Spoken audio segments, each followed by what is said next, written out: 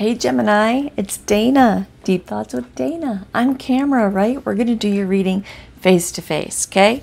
I've done it for the other signs that I've put out monthlies for, and I'm going to do it for you guys, right?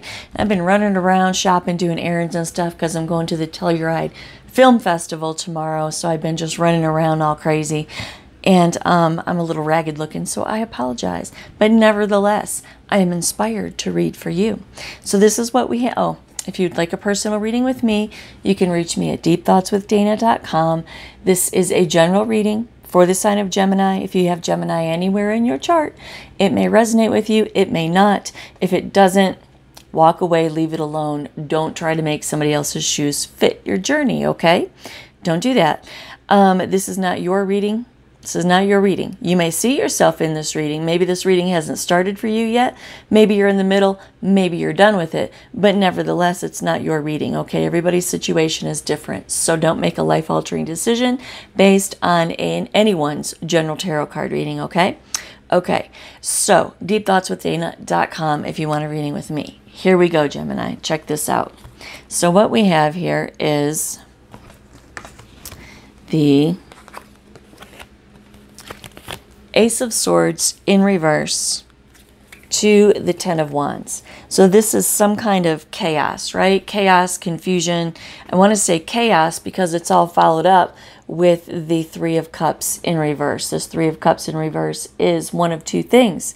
It's either a third party situation or it's a creative, it's blocking creation, creative block, or it's both blocking the creation of anything else in a situation because there is a third party situation. But nevertheless, this card is the complete opposite of celebration and reunion like its definition is. It's so whatever that means for you Gemini, that's what's going on here. That's why there's mental chaos and that's why there's the 10 of wands, the struggle and the burden, right?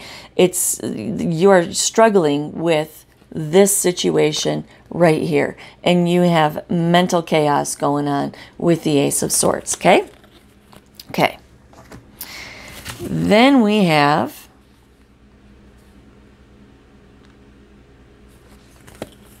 the Eight of Cups, okay? Eight of Cups talks about you withdrawing, right? Withdrawing with feelings of disappointment. Eight of Cups is clarified by the moon card, right? Fear, anxiety, struggling with the subconscious mind. Because of the Two of Pentacles in reverse, because there's disorganization in your life. There's just disorganization because you have some kind of chaos, some kind of struggle with a third party situation or a third energy that's stopping the creation of something in your life, okay? Eight of Cups says that uh, you feel disappointed and you're withdrawing. The Moon card says you have a lot of fear and anxiety. And the Two of Pentacles in reverse says there's just disorganization in your thought processes, in your life, in your security. The Pentacles are about the physical, right? And there's just disorganization going on for you. The Six of Wands to the Fool card. Six of Wands to the Fool card, clarified by the Hermit as the bridge between. This is saying that you thought things were going just fine. Six of Wands is victory, success, confidence, right? Ego. You thought things were going just fine. And the Fool card, new beginning, new journey, emotional fulfillment. I mean, we're just doing good. Then the Hermit comes in and says, Oh, it's almost like a kick in the gut, right?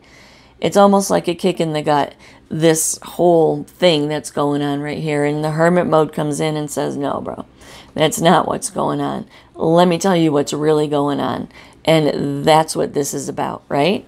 This throws you into the hangman energy. This hangman energy is you pausing, right?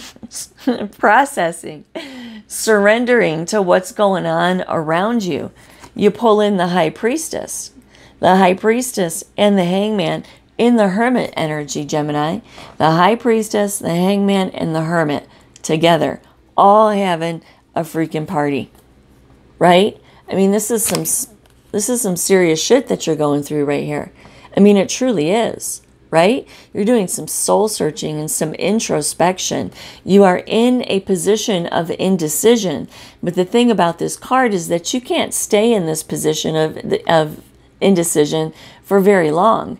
Because, I mean, look at him. The blood's going to rush to your head and you're going to pass out and die. Okay? You can't stay there very long. This is not a position of, of indecision, it's a position of momentarily not understanding what it is that the situation needs from you. Okay?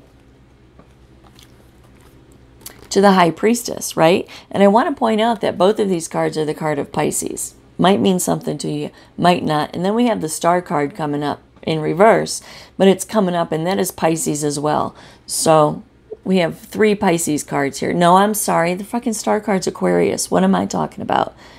Aquarius. So we have double Pisces and Aquarius. So maybe that means something to you. Maybe it doesn't. And then this card right here, of course, is Virgo, right? So, might mean something to you, might not, makes no difference either way whatsoever, except that if it means something to you, you're going to be going, yeah, yeah, I'm dealing with a Virgo, right? And if, you, if it doesn't mean anything to you, disregard it completely.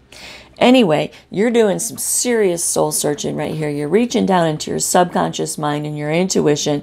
You're sitting down with your higher power and you are saying, What do I do in this situation? What do I do?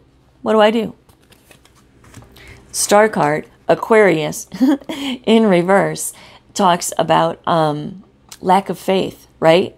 lack of faith in everything because with the Fool and the Six of Wands, you thought things were going great, right? You're like trucking right along, going on your journey and doing the whole success thing. And then all of a sudden, the Hermit comes in and says, No, no, something is very, very wrong in this situation. To the Star in reverse. This is about, sorry, my nose itches when I read cards. Channeling, I think. Um, and my nose is all red. The star in reverse is um, despair, a lack of faith, and despair.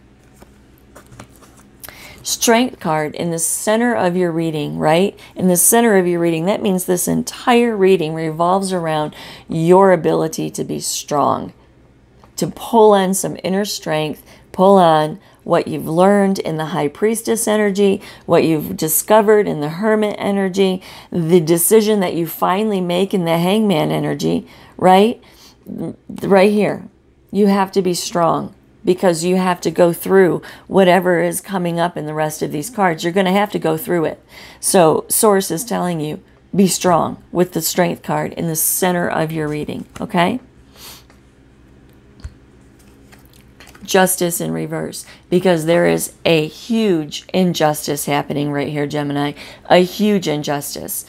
Huge injustice. You're getting fucked over hard in this in this reading. You are. And thank goodness that we do have something like this, a tool like this, because if this hasn't happened for you yet, heads up, something really messed up is coming your way. Okay? If you're in the middle of it, maybe the rest of this reading will help you deal with it or figure it out. And if this has already happened to you, man, um, the ending cards are good, so um, you're in a good place. Okay, so justice in reverse. There is just a serious injustice because it's followed by the Three of Swords heartbreak, pain, sorrow, grief, rejection, separation, right? to the King of Swords, which is the be all to end all. I mean, he is the final decision maker. There is some kind of of severance, some kind of huge decision that um, hits you in the Ten of Cups, hits you in harmony, happiness, values alignment, in the relationships in your life, in your life in general, in the fields of life. Okay? So there's some kind of truth, truth, not just decision, okay? Truth that is spoken about what you thought was the Ten of Cups is now turning into the Ten of Cups in reverse. It's now turning into a broken home, a broken marriage, a misalignment of values truth is being spoken.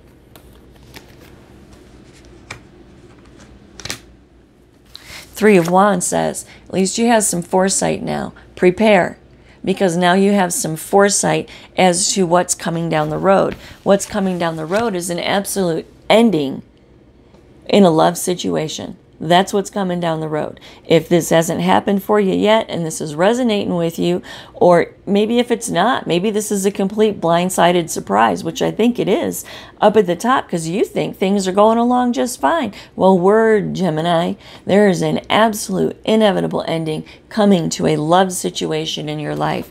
And these cards are giving you foresight so you can prepare. Eight of Swords, releasing not just releasing, it's being open to new perspectives. Okay, you're going to have to be open to new perspectives. You have no choice in the situation. You're going to have to be open to new perspectives. To the moon card, this is because of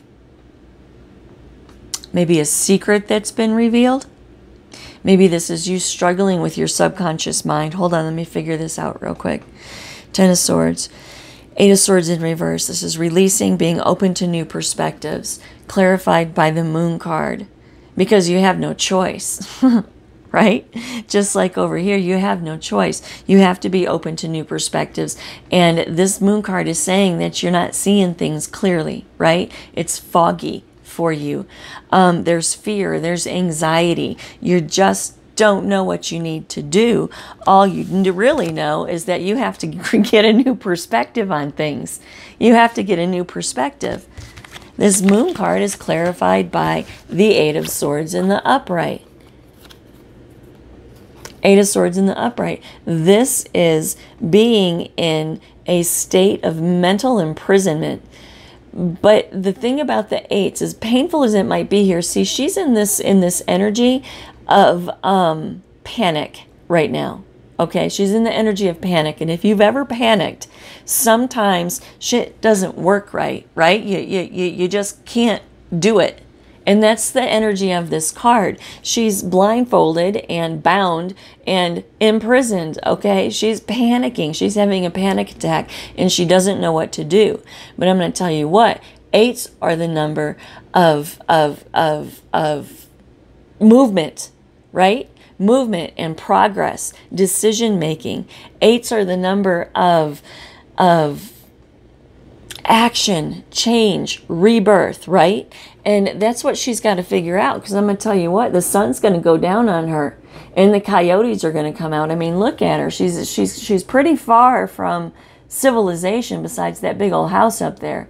And I mean, you know, she doesn't have much time to to stay in a mentality of what do I do? What happened? What do I do? What do I do? Right? Um, so, eight, as painful as that may be for a moment, this is you working yourself out of this whole situation right here, right? It's you figuring out what the hell you're going to do, right? So, you have to have a, you got to come up with a new perspective. You have to. With the Eight of Swords in reverse, you have no choice to the moon card fear and anxiety. That's what she's feeling right there. Fear and anxiety. That's what she's feeling. Fear and anxiety, right? Struggling to the Eight of Swords. Got to figure out a way out. You got to figure out a way out. You got to figure out a way out. Because, look, lo and behold, lo and behold, Six of Wands just like up here. You thought things were going great. This is about victory, progress, success right? Ego. To the Nine of Pentacles. This is about this is about self-sufficiency, gratitude, right? I mean just being good, right? But this is also about culmination. Nines are about bringing things to a conclusion, okay? Six is about communication and partnership. It's about um, um, um, cre- cre- creation. It's about people coming together, right? So you you you you were thinking it was fine. To the Nine of Pentacles, everything's great. Everything's trucking right along, right? But look what comes in next. The Three of Swords. No. It's the same as up here. These three cards are saying the exact same thing that three, these three cards are saying. New journey, new beginning, victory, progress, and success. Hermit comes in and says, no. Over here, victory, progress, and success. Self sufficiency, living the good life. And the Three of Swords comes in and says, no. Same message. Six different cards, same message. So, what are you going to do, Jem? What are you going to do? You are going to manifest your own damn opportunities. You're going to figure yourself out. You're going to hustle and you're going to figure yourself out. To the Fool card, you are going on a new journey. You have no choice in the matter. You, you don't. You are taking a new journey and you must create a new beginning in your life. You must. You have no choice. It's, it's destiny. It is what is happening in your life. You have no choice. You are taking a new journey and you must create something for yourself with the Ace of Pentacles right there. The Two of Swords in reverse. This is, oh, sorry. This is um, coming out of the mental confusion, dealing with repressed emotions, coming out of being at a crossroads. It's, it's about making some progress, right? To the Empress because you got to figure out what you're going to do. You got to figure out what you're going to do because you have to maintain life, right? And you're going to figure out what you have to do with this Empress and you're going to be successful. I mean, for God's sakes, we have the Fool, brand new beginning, a brand new journey, the Ace of Pentacles, right? Manifesting brand new opportunities, maybe even financial opportunities, to the Two of Swords in reverse, letting all that shit go, clearing your head, right? to the Empress, creating abundance in your life, taking control, being the Empress, handling all of this shit like a boss, right? Rolling with the punches. And then we have the Sun card happiness, vitality, and success. So, what happens from all of this is you come out on top. You learn something huge in all of this. Huge. You learn something huge. What is this, Gemini? What is this? What is this? What is this thing right here? What is this three? What's this three of cups right here? What's this three of cups right here?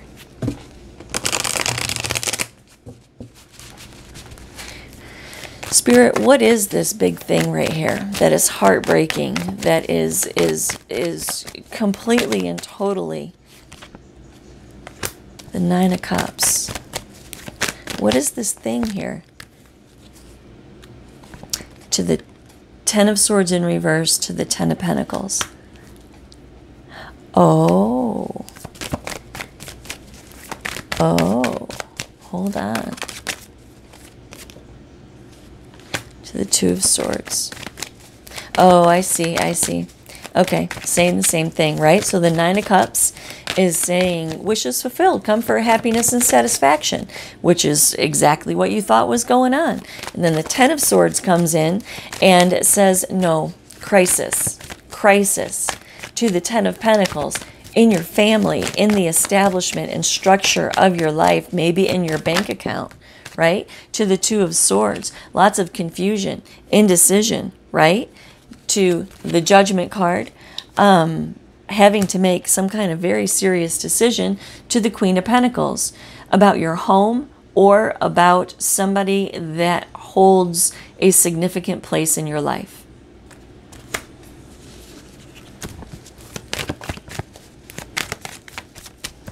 I should take this over to Vimeo, honestly, but I'm too lazy. I just don't feel like it. Vimeo is pretty cool. I, I, I posted some uh, some videos on Vimeo. I posted something for Taurus on Vimeo, and I posted something for Scorpio on Vimeo.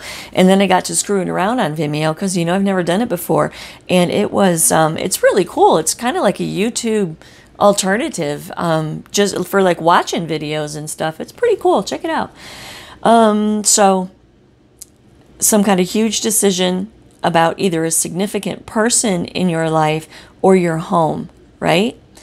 Five of Swords in reverse comes in and says that you have to be open to change because the Chariot says that you have to take action to the Five of Cups. This is about escapism. It's about disappointment and abandonment and escapism. Okay. And that's all of those apply for you right here. All of those apply. So, you know, things are going to work out just fine for you, Gemini. They really are. You just, um, you're just a little disorganized right now. Just a little disorganized. Knight of Pentacles, little stuck, right? To the Ace of Cups in reverse. Little, um, little emotional, but there's just like a complete and total just block in your life right here. It just like stops. Yeah, look. Breaking free of the mental challenges that we just talked about this whole reading. Being able to celebrate. Hold up. Celebrate or reunite to the Eight of Wands, some incoming communication. Hold on, the plot thickens. The plot thickens. King of Swords, somebody speaks their truth. Ooh, gem. I should have took this over to Vimeo. This would have been a good one. I could have did a whole 30 to 45 minutes on it, but I can't now because if the videos are too long, nobody wants to watch them, which I don't blame them. I'm the same way, right? Ooh, the, the Two of Cups. Okay, the Two of Cups in reverse. Hold on, I'm going to tell you this whole story in just a second. Hold on. Two of Cups in, in reverse. To the Seven of Wands.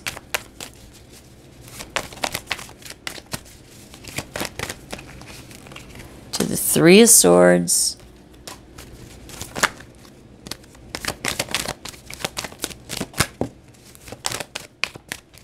To the Three of Swords.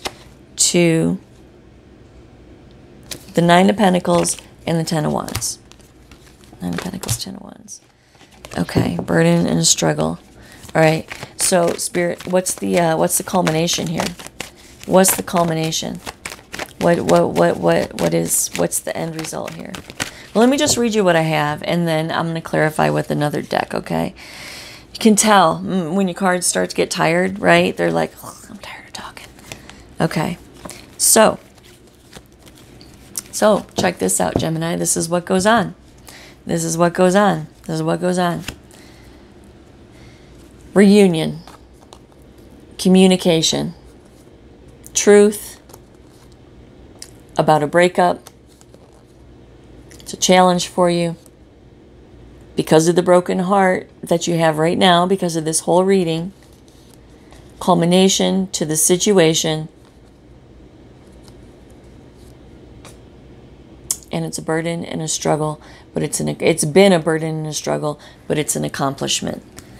So, these cards say that something, either you send communication about reuniting, not necessarily reconciling, okay? It's about reuniting. It's three people coming together and talking things over, okay?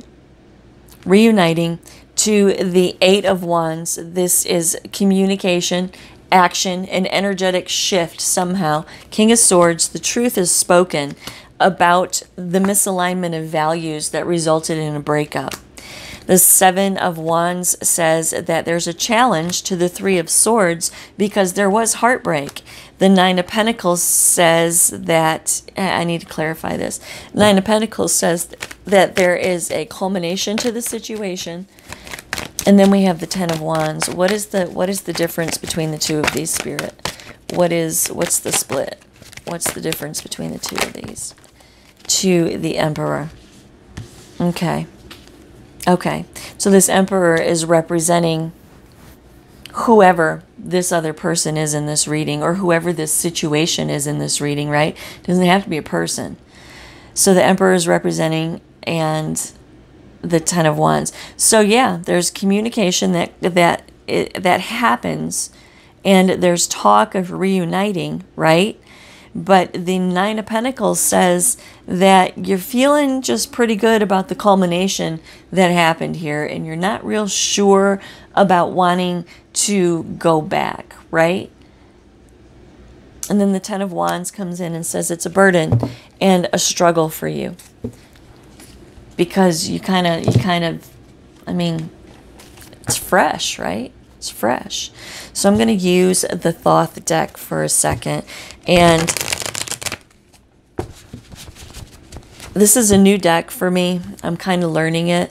If you don't know anything about it, it's um, got a lot of occult connections and background, and it was created by Aleister Crowley and blah, blah, blah, blah, blah. But I like the deck because it talks about tarot in almost like a root way, almost like, almost like a wolf is wild and a dog is domesticated. And it's almost like the tarot that we're all used to is the domesticated tarot, but this is like the root it's go do history on it. And no, I don't agree with all of the whole Aleister Crowley thing, but I do think that um, a lot of people don't understand um, where he was coming from, and people are afraid of the things that I do and the things that we do as people who.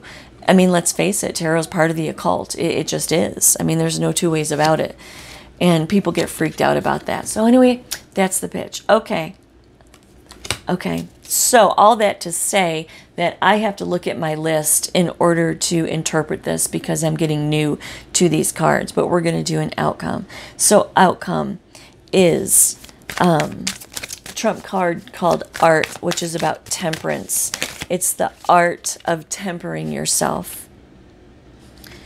To the Eight of Wands, which is swiftness in this deck. Swiftness. So, tempering yourself, swiftness, not to move too quickly. The magician, manifest it. Hold on, Jim. The magician, to the Six of Swords. See, I gotta look. Six of Swords, the state of knowing, knowledge as distinguished from ignorance or misunderstanding. The state of knowing. Okay. So the magician. Okay. So you're manifesting. Okay. Okay. Okay. Okay. Okay. Okay. So art is temperance, right? Temper any swiftness that you want, that you feel urged, right? Temper any any swift action. Okay. The magician says to manifest, manifest um, knowing, manifest knowledge right now and make sure that you don't act out of rashness to futility. This is um, the Seven of Swords in this deck. This is about a useless act or gesture, right? So, what these cards are in the Knight of Wands. So, what these cards are saying is that you should temper yourself, temper any action that you feel like you need to take, manifest logic, reasoning, and knowledge. So your efforts won't be futile Take inspired action when you take inspired action. So your efforts won't be futile when you take inspired action. So this inspired action that's going on here, what are you going to do about this, Jim? And indolence, the six, uh, the eight of cups. This talks about, again, the card of Pisces, want to mention, avoidance of activity or exertion lady okay yeah so so you don't don't take so when you take passionate action it's not um in vain okay? It's not in vain. When you take passionate action it's not in vain. So temper yourself temper your uh, um, desire to want to move in this situation. Have some understanding, some knowledge, some wisdom, so your actions aren't in vain. the Hermit is urging you to do some soul searching and some introspection.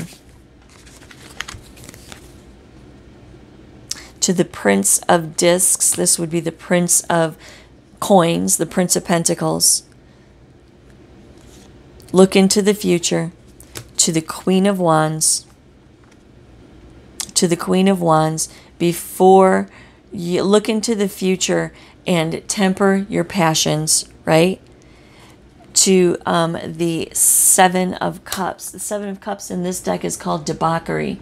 And let's see, the Seven of Cups is about um, lead astray, lead away from virtue or excellence, right? So, what these cards are saying is that you need to go into the hermit energy and think about your future before you take any passionate action or make any passionate decisions because, um, because, get away from virtue or excellence, because it might not be in your best interest. It might not be in your best interest. Prince of Swords, Fortune, and the Prince of Cups. Okay, this Prince of Swords is somebody who is insincere. Okay, he's an insincere kind of guy. He does, he takes the action that he takes because he doesn't know what else to do, right? I mean, think about it. It's a knight on a big white horse rushing in. I mean, we've all seen those movies, right? Merlin and all that kind of stuff. We've all seen those movies. And um, the tarot cards are very much like those movies, by the way. Lord of the Rings ish, big time. So, anyway, um, this guy rushes in and he does his job. He either delivers messages or barks orders or comes in and cuts everything up and leads battle into rape and pillage, you know? Um, that's the energy of this guy, right? So so what this card is saying is to not have that kind of energy, to think very carefully about moving into anything like this because there is debauchery. You have to debauchery, debauchery, debauchery, and you have to think about your future right? Again, the Seven of Cups in this deck is about um, to lead away from virtue or excellence, which is, says it's not in your best interest, right? Think about it because it might not be in your best interest. Don't take action like the Prince of Swords, right?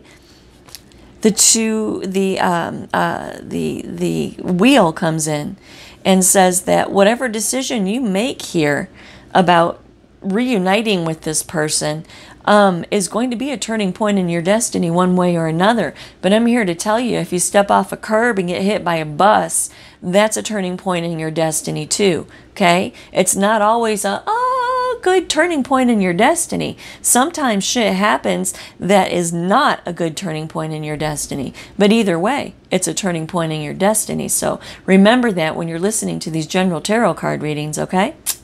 All right. The Prince of Cups, right? Be in touch with your emotions and think twice about offering them to this person. Death comes in and says it's in your best interest to put an end to this whole situation. And the Queen of Swords comes in and reiterates what I reiterates what I just said. It is in your best interest. The Queen of Swords looks out for her best interests, right? And if you are not in her best interest, whack, you get that sword, right? To this um, the death card. It's it's uh, spirits telling you what's in your best interest.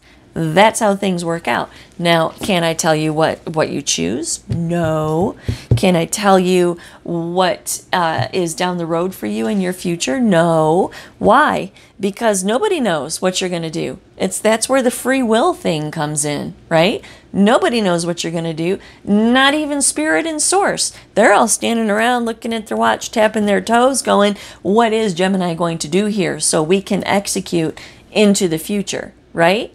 Because they're not going to interfere in your life. If you choose one way, then they're going to try to guide you the way that you need to go based on the decisions that you make, hoping to be able to steer you in the right direction. And if you choose this side, they're like, okay, and they just do what they're supposed to be doing. Nobody can tell you how this is going to turn out, right?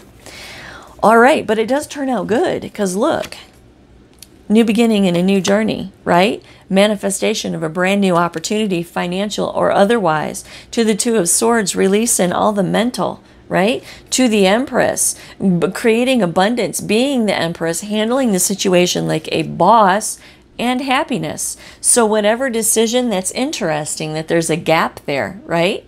So, they tell you what's in your best interest, and then there's a gap, and then there is the outcome. Woo, what a cliffhanger that is, huh? Seriously.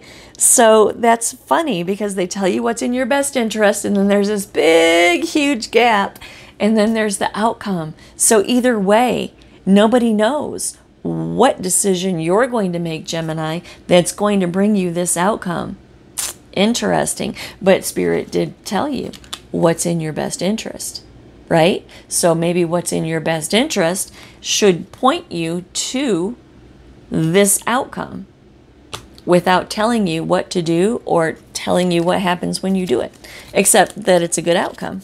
Interesting. Super interesting. Well, there you go, Gemini. That has been your reading. I am going to go um, unload my groceries and get all of my stuff together for my trip. And I hope that you guys have an amazing Labor Day weekend. Namaste.